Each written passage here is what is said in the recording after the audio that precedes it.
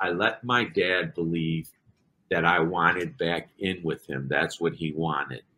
And that I had some issues with him. If we don't work out these issues, I, I'm I'm done with you, even as a father. So that's the whole setup I had with getting my dad to start these conversations. Getting wired up was hard because of the fact that the government couldn't monitor me while I'm in the prison walls. There's too much concrete. So I had to get to and from this office without being seen. And if I was seen, I wouldn't know until I was dead on the yard.